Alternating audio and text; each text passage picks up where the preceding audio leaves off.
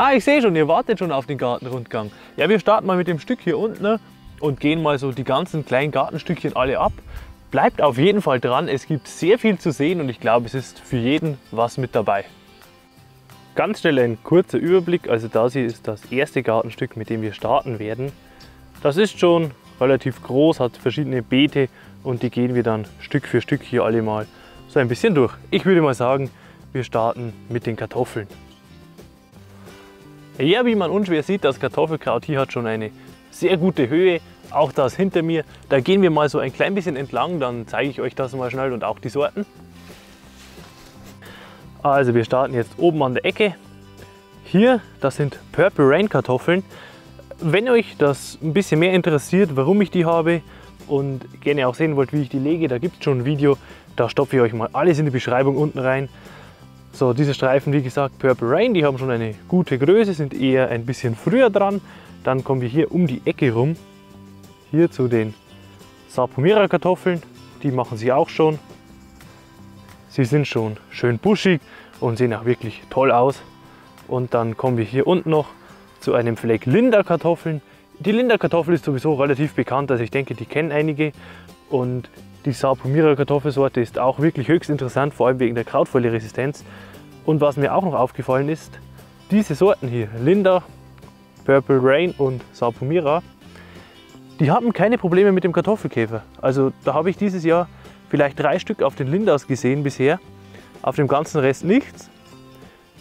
Die scheinen da deutlich weniger beliebt zu sein. Eine kurze Orientierungshilfe, da waren wir jetzt gerade bei den drei Kartoffelsorten und hier drüben bei meinem Riesenkürbis habe ich ja noch einen Kartoffeldamm angelegt aus Gala-Kartoffeln, die ich aus dem Supermarkt hatte. Auch die machen sich sehr gut, die beginnen auch schon zu blühen. Ich habe die einfach noch gepflanzt, normalerweise pflanze ich die aus dem Supermarkt eher ungern, weil sie schon ausgewachsen sind. Ja, deswegen habe ich sie gepflanzt. Ich pflanze sie eher ungern, weil sie stark vom Kartoffelkäfer immer befallen werden. Das merke ich auch dieses Jahr schon, aber auch da sieht das Kraut schon sehr gut aus. So, unten rechts an meinem Garteneck befindet sich hier Topinambur, nämlich weißer und violetter. Da stelle ich mich mal nebenhin, dann sieht man die Größe vielleicht schon. Ja, der ist von letztem Jahr aufgegangen und der hat schon eine gute Größe, also die zwei Meter schafft er wahrscheinlich jetzt im Juni noch. Der geht ab wie nochmal was, der kommt auch schon Februar, März was aus dem Boden raus und dem ist es egal, ob es jetzt 30 Grad hat oder es Frost hat, der wächst einfach immer und der gefällt mir schon sehr gut, also der steht wirklich robust da. So, vom Topinambur gehen wir gleich weiter hier nach rechts rüber, dann verliert ihr die Orientierung nicht so. Ich habe hier auch was sehr Schönes, das ist Oka, der sieht schon sehr gut aus. Für alle, die Oka vielleicht nicht so kennen, Oka ist eine Sauerkleeart, der wird angebaut wie Kartoffeln, auch vom Zeitpunkt her und kriegt dann hier so kleine Dämme, aber der entwickelt sich schon prächtig, also der sieht wirklich gut aus. Dahinter dann auch Pfefferminz, der hier immer wieder im Randbereich meines Gartens zu finden ist, weil der tatsächlich auch so ein bisschen der Wühlmausabschreckung dient. Zumindest wurde es besser dadurch. Auch da, man muss nur aufpassen, dass er sich nicht zu stark ausbreitet. Und beim Schwenk nach oben kommen wir direkt zu den Erbsen. Die habt ihr so noch nicht gesehen, aber davon gibt es eine extra Videoreihe dann. Also keine Sorge, das habe ich alles schön mit festgehalten, bereits vorm Auspflanzen. Und das ist sehr schön, ich entdecke gerade, die beginnen zu blühen. Das äh, kommt jetzt die letzten Tage so. Das ist schon mal sehr schön. Dann schwenken wir hier rüber. Da haben wir ein kleines rote Beetefell. Die, die hier so ein bisschen gerupft und halb tot aussehen, die habe ich verpflanzt, weil sie zu nah aneinander standen. Jetzt allmählich kommen sie über den Berg und überleben es. Aber das sieht hier schon mal besser aus jetzt. Gut, dann habe ich hier rechts von mir Erdbeeren. Da kam ja erst das Video online und da sind schon wieder welche dran. Also ich habe die jetzt erst abgeerntet, aber die machen sich wirklich super. Also Erdbeeren sind echt super einfach zu machen. Ich habe da ohne irgendwelche Hintergrundahnung mal einfach ein paar Pflänzchen rausgehauen und gepflanzt. Anfangs eine Sorte ging mir kaputt, aber das sieht jetzt hier top aus. Dann habe ich hier drüben Knoblauch, der wird jetzt dann auch schon erntereif. Man sieht, der liegt schon ein bisschen drin. Hier habe ich wieder ein, der bildet Bulbillen. Also wenn ihr wissen wollt, wann ihr wie Knoblauch pflanzen müsst, was der Unterschied zwischen Bulbillen, Rundling und den Seen ist und was das alles dann mit der Kulturdauer bedeutet, hier, das werden auch Bulbillen, dann schaut in die Videobeschreibung, da gibt es schon ein ziemlich ausführliches Video von mir von letztem Jahr. Leider nicht in 4K, aber trotzdem in HD. Das müsste passen. So, dann kommen wir hier zum Rand nach oben hin raus. Und da habe ich einfach mal Zuckermais. Der sieht auch schon ziemlich gut aus, also da kann man sich nicht beschweren. Der macht sich echt gut, dem gefällt jetzt auch das Wetter, es ist schön sonnig und es hat endlich mal wieder geregnet bei uns. Man sieht es auch am Boden, der ist total nass. Über 25 Liter hier bei uns, das hat mich sehr gefreut, denn es war schon wieder alles krachend trocken. Und das gefällt natürlich den Pflanzen hier auch. Ja, Zuckermais, das ist eine größere Anzahl, ich denke mal fast 50 Stück, ich kann es gar nicht sagen. Aber der macht sich auch schon wirklich gut.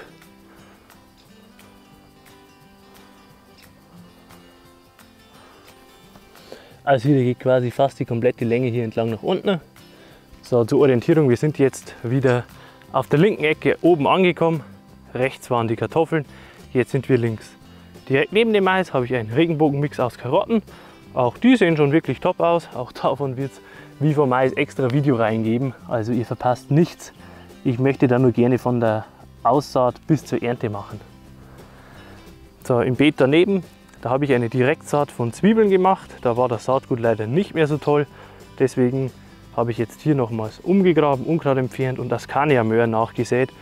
Das ist eine F1-Sorte, eine orange Karottensorte und die haben eben ja, hier so Auspflanztermin im Juni, Juli, das passt. Oberhalb kommen wir jetzt zu den Paprika. Ich drehe mich mal kurz zwecks des Schattenwurfs. Also hier habe ich gelbe Blockpaprika und rote Paprika, ganz normale und wie man sieht, hier geht es schon los. Da sind schon die ersten schönen Ansätze da.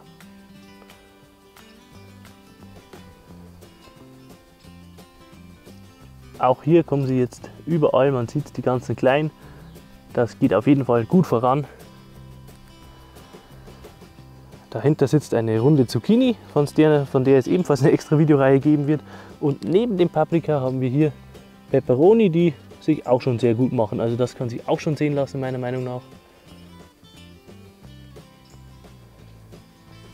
Auch hier drüben, also da geht es voran. Wir waren dann weiter nach links. Hier waren zur Erinnerung nochmal die Purple Rain. Dann habe ich hier einen Super Schmelzkohlrabi, der wurde anfangs sehr malträtiert vom Erdfloh, hat sich aber auch wieder gut erholt. Ja, der macht sich auch schön, der wird schon. Hier drüben habe ich noch ein paar Radieschen, zu den Radieschen gibt es schon eine komplette Anleitung, findet ihr auch in der Videobeschreibung. Haue ich euch da mal mit rein. Also hier, da wachsen noch ein paar kleinere. Da muss aber bald geerntet werden, denn hier ist schon wieder mein Erzfeind, der Amaranth. Und der muss raus, bevor er aussamt. Deswegen werden die nicht mehr allzu lange wachsen hier. Gut, also wir sind jetzt wieder so ein bisschen links oben in der Ecke vom Garten. Dann drehen wir uns rum und haben hier sehr schön und kräftig den Brokkoli elf Pflanzen, glaube ich, waren das. Der hat sich seit dem Auspflanzen super gemacht. Der hatte auch keine Probleme mit etwas kälteren Temperaturen. Der sieht auch wirklich also schön aus, kräftig aus, hat schon eine gute Blattgröße und ich denke, da dauert es vielleicht noch einen Monat, dann kann man da schöne Köpfe ernten. Dem geht es wirklich gut. So, links davon habe ich zwei Kohlbeete, nämlich einmal hier den Rotkohl und rechts davon den Weißkohl. Auch da sieht schon wirklich top aus, da kann man auch nicht sagen, der gewinnt gut an Größe, legt allmählich an den Blättern zu, also er beginnt hier schön aufzubauen. Hat jetzt auch keine größeren Probleme mit der Hitze, es sollte nur nicht wieder wie letztes Jahr zu lange zu heiß werden. Auch die Schmetterlinge fühlen sich bei mir wohl, so der wird jetzt gleich hochflattern, denke ich, wenn ich näher komme. So, also die freuen sich auch über den Regen. Hier der Weißkohl, So, dann wandern wir hier zum Ende vom Kohl. Da finden wir an den Ecken noch Chilis.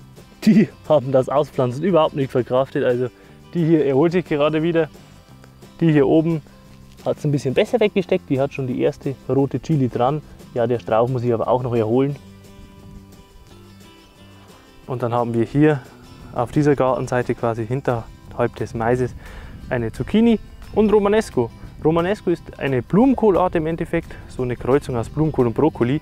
Wird in der Regel ungefähr so hoch, also guten Meter hoch und bekommt wirklich schöne Köpfe, die dann echt aus, äh, wie eine Mischung aus Blumenkohl und eben Brokkoli schmecken. Das ist wirklich sehr interessant. Der macht sich auch schon sehr gut. Also die fühlen sich hier wohl, die wachsen gut und der bleibt hier jetzt auch mal schön im Wachstum die nächste Zeit. Hier habe ich dann noch Blumenkohl, der wird auch ja, immer besser. Anfangs stellenweise waren welche dabei wie der hier, denen gefiel es gar nicht. Aber die fühlen sich jetzt hier auch wohl, also legen gut zu. Und das sollte eigentlich ja, nichts problematisch werden die nächste Zeit. Das sieht also alles schon mal top aus hier. Bis auf den. Ich weiß nicht, was mit dem nicht stimmt. Der mag irgendwie nicht. So, hier komme ich wieder zu meiner Topinambur-Wand. Und dann habt ihr hier mal nochmal den Blick über den Garten. Wie gesagt, Kartoffeln, Brokkoli, Radieschen, Superschmelz, Rotkohl, Weißkohl, da oben waren Paprika, Peperoni, Karotten. Jetzt muss ich aufpassen wegen der Sonne. Blumenkohl, Erbsen, Oka, Erdbeeren, Mais, Romanesco, alles mögliche. Und wir springen jetzt mal darüber. So hier neben diesen Kartoffeln aus dem Supermarkt, ja, die vom Kartoffelkäfer immer befallen werden. Da habe ich noch Blaubeeren. Da kommen wir aber noch zu einem schöneren Strauch, deswegen gehe ich da nur kurz vorbei. Eine kleine Feige. Und hier oben habe ich Physalis in Töpfen. Auch die machen sich schon wirklich schön. Das hier, ich ziehe die mal ein bisschen weg hier. Das hier ist eine Physalis, die ist schon gut buschig und man sieht es auch, also da ist schon schön was dran, diese kleinen papierlaternenförmigen Beeren hier, das werden die Physalis. Seht ihr das? Ich glaube schon, das müsste man sehr gut sehen. Also die machen sich schon gut.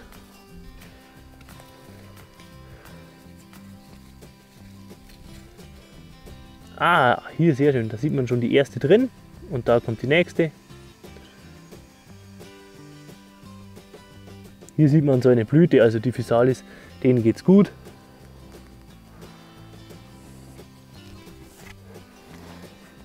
Auch hier, das sind alles Physalis. Da geht schon gut voran. Auch hier sieht man wieder so eine kleine Blüte. Da mache ich mir keine Sorgen.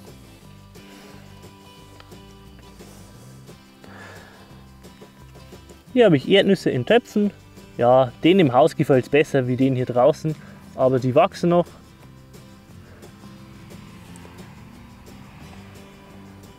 Also da warten wir einfach mal ab, was das wird. Das kann ich noch nicht abschätzen.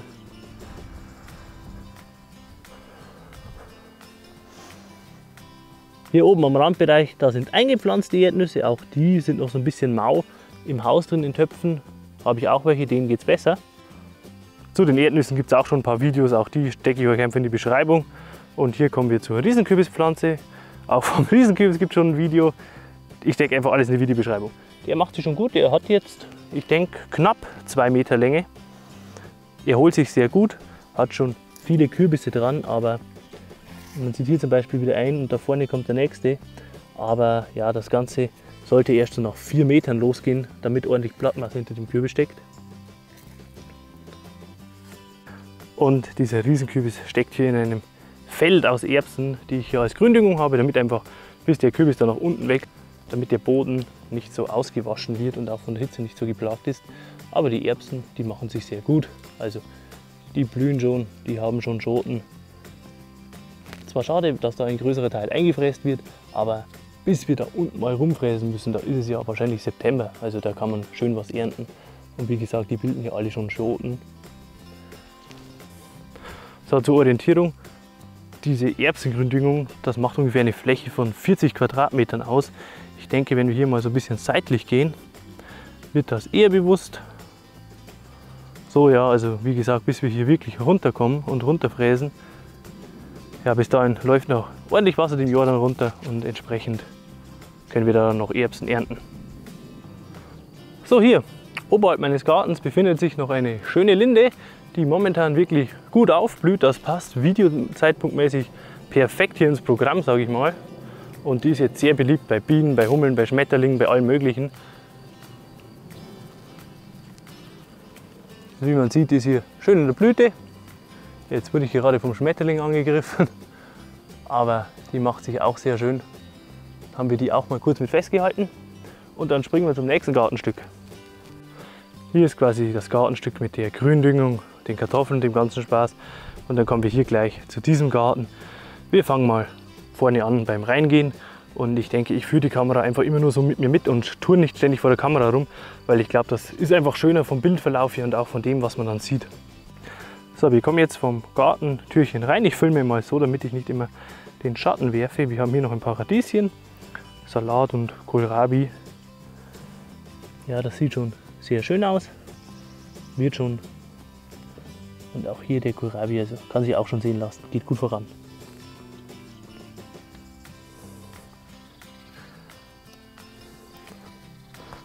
Dann haben wir ein Beet weiter hier Zwiebeln mit Karotten dazwischen. Ja, kennen sehr viele diese Anordnung. Und hier haben wir noch ein bisschen Lauch daneben. Also das ist kein Zwiebel. Das ist auch hier ein Beet. Gut, dann gehen wir gleich weiter. Wieder eins weiter nach hinten kommen wir hier zu den Stangenbohnen. Also das sind hier zwei Beete Stangenbohnen. Die sehen schon richtig gut aus. Also da man sieht, die gewinnen auch schon ordentlich an Höhe, schlängeln sich auch wirklich schön rum. Ja, da haben wir einmal hier und einmal hier drüben. Also da sind ebenfalls zwei Beete hier. Noch eins weiter hinten ist wieder ein frisches Salatbeet und hier drüben sind noch Buschbohnen, wie man sieht. Also das sind, werden jetzt einfach so kleine buschige und nicht mehr Stangenbohnen. Hier wird dann noch was anderes gesät und wir drehen uns jetzt zu dem letzten Bereich. Hier hatten wir ebenfalls Kohlrabi und Salat. Der Salat ist schon geerntet, der Kohlrabi stellenweise auch, denn der sieht schon wirklich denn der sieht schon wirklich gut aus. So, hier sieht man es mal ein bisschen. Ja, und hier wird gerade nochmals Salat nachgesät und Kohlrabi und solche Geschichten eben. Gut, dann springen wir einmal kurz aus dem Türchen wieder raus.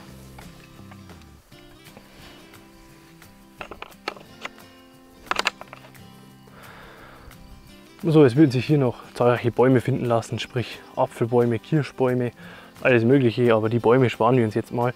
Wir haben hier dann noch ein bisschen Maggi, der hier neben dem Garten wächst.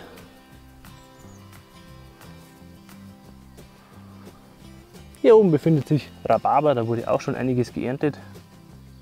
Hier vor mir ist der Johannisbeerstrauch. Wie man sieht, die werden schon rot, da geht sich gut was vorwärts. Ja, das sieht schon sehr gut aus hier, die kann man auch schon kosten, die sehen wirklich top aus.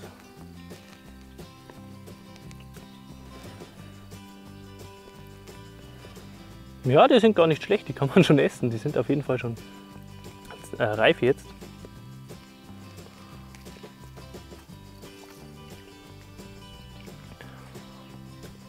Mhm, die sind nicht schlecht. Und daneben haben wir hier einen Stachelbeerstrauch. Kennen wahrscheinlich auch sehr viele. Es sind einfach diese grünen kleinen Beeren hier. Da hat er einige dran, aber die brauchen noch ein bisschen, die sind noch ziemlich hart. Die werden dann so leicht gelblich, wenn sie wirklich reif sind. Ja, aber der trägt auch einige man muss die immer so ein bisschen suchen stellenweise, weil die ja zwischen den Blättern hängen, die gleichfarbig sind.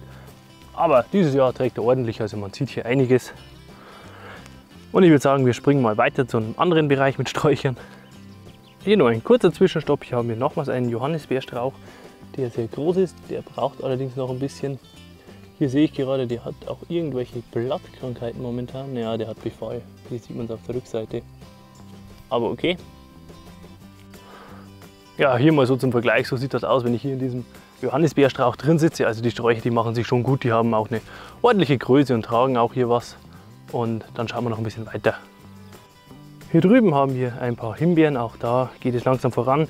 Die hier stehen jetzt komplett schattig, deswegen sind die noch nicht so weit. Da sieht es noch ein bisschen mauer aus, aber auch da geht es voran, wie man sieht. Also da wird es auf jeden Fall auch schon. Hier hätten wir einen von vielen Nussbäumen hier bei uns, die allerdings ja, das Problem hatten mit dem Frost mal wieder. Aber das sei jetzt mal dahingestellt.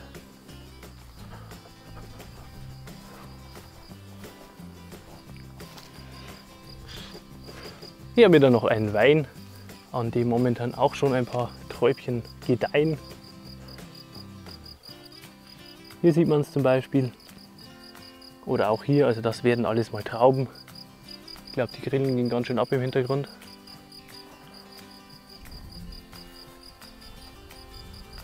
Ja, da lassen sich immer wieder welche finden, also auch da geht es voran. Sieht ganz gut aus. Und wir wechseln mal nochmal die Location so ein bisschen. Hier nähern wir uns gerade einem weiteren Bereich. Hier finden wir nochmals Himbeeren. Die bekommen so ab Abend ein bisschen Sonne ab und das merkt man gewaltig. Hier sieht es wieder sehr gut aus, auch die sind schon reif. Da kann man mal wieder ein bisschen probieren. Das ist das Schöne, wenn man so viel im Garten hat. Da ist hier auch interessant, ist eine sogenannte Maibeere. Ja, die wird auch so blaubeartige Beeren bekommt die. Ja, die Himbeeren sind schon echt lecker. Und das ist hier ein größerer Fleck davon. Also.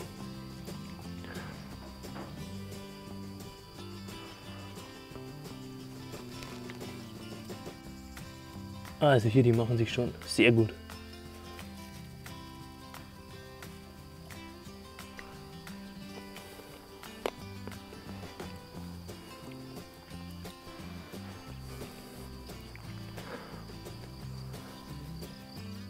Das hier werden mal Brombeeren, sind jetzt momentan schön in der Blüte.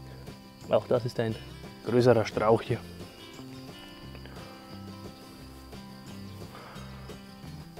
Das ist eine Kiwi, die ist dieses Jahr neu, da müssen wir mal abwarten, wie sich die macht.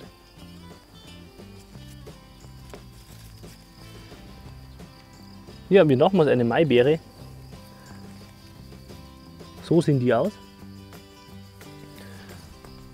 Gut, dann komme ich hier um die Ecke, da wird es noch was interessanter.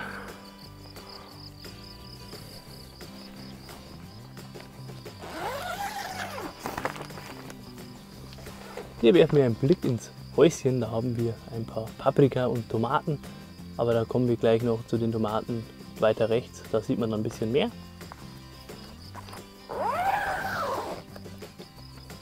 So, wir haben dann hier noch Gurken, ein paar Tomaten hier im Freiland,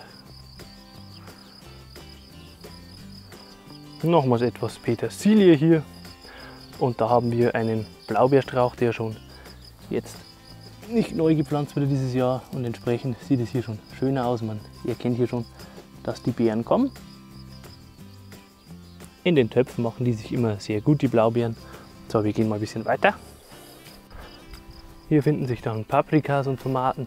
Also hier die Paprikas werden schon auch bei den Tomaten. Es gibt hier sehr viele verschiedene Sorten, eben Schlangentomaten, Fleischtomaten, Ochsenherz, alles Mögliche mit dabei.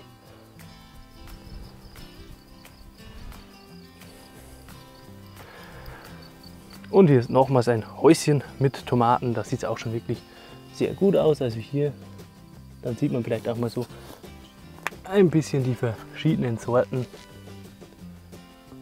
Und hier, das wird alles schon, das sieht sehr gut aus.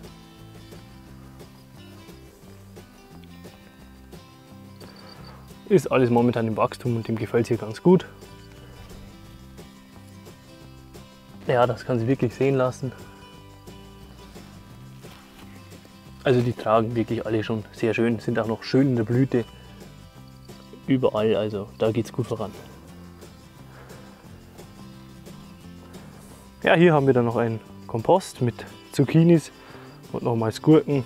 Aber auch da sieht schon sehr gut aus. Also die Zucchini-Pflanzen haben schon eine sehr schöne Größe. Und nein, Leute, wir fangen jetzt nicht wieder die Diskussion an, ob das hier Mehltau ist. Das ist wirklich nur die Musterung vom Zucchini-Blatt. Ich glaube, ich habe das jedes Jahr in mindestens sechs Beiträgen in irgendwelchen Gartengruppen die Diskussion, ob das hier Mehltau ist. Nein, das ist tatsächlich die Musterung vom Blatt. Da sieht man auch schon irgendwie so ein bisschen an dieser Regelmäßigkeit. Und ja, ihr könnt es mir natürlich auch nicht glauben und die Zucchinis ausreißen und neu pflanzen, aber glaubt mir, die nächsten sehen dann wieder so aus. Das ist einfach diese Zucchini-Sorte und die Blattmusterung sieht hier entsprechend aus. Und da sieht man, da kommen auch schon die ersten schönen Zucchinis hin. Also auch da geht es voran. Das ist jetzt nochmals eine Feige, die schon ein bisschen größer ist. Hier steht noch eine Jalapeno-Pflanze dahinter. Die trägt auch schon, also auch da geht es voran. Und auch hier kommen überall zahlreiche kleine. Hier sieht man das, also auch die machen sich gut. Hier noch eine Hortensie, die schon ordentlich blüht.